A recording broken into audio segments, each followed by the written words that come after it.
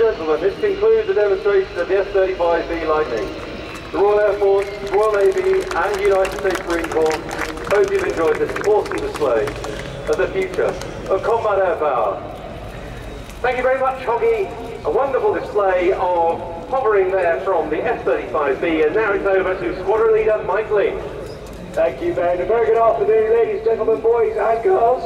I'm Squadron Leader Mike Ling and I represent the supervisor with the Royal Air Force Aerobat